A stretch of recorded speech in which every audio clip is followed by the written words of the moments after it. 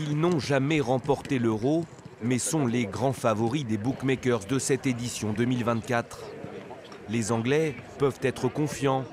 Avec Kane, Bellingham, Foden, Saka ou encore Rice, rarement le groupe des Three Lions n'aura paru aussi étoffé sur le papier. On a des joueurs incroyables. Quels que soient ceux qui seront sur la pelouse, je suis sûr qu'ils vont performer et obtenir le résultat que l'on veut.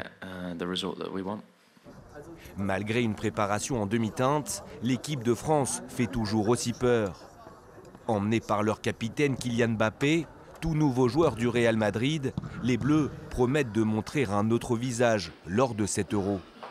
On est dans un groupe qui est confiant, qui est apaisé, qui rigole beaucoup. Il y a une superbe, superbe ambiance au quotidien. Et voilà, on est vraiment prêt à se battre les uns pour les autres. À domicile et pour la dernière compétition de leur maître à jouer Tony Kroos, les Allemands visent le titre et ils ne s'en cachent pas. J'ai encore faim parce que j'ai toujours envie de réussir.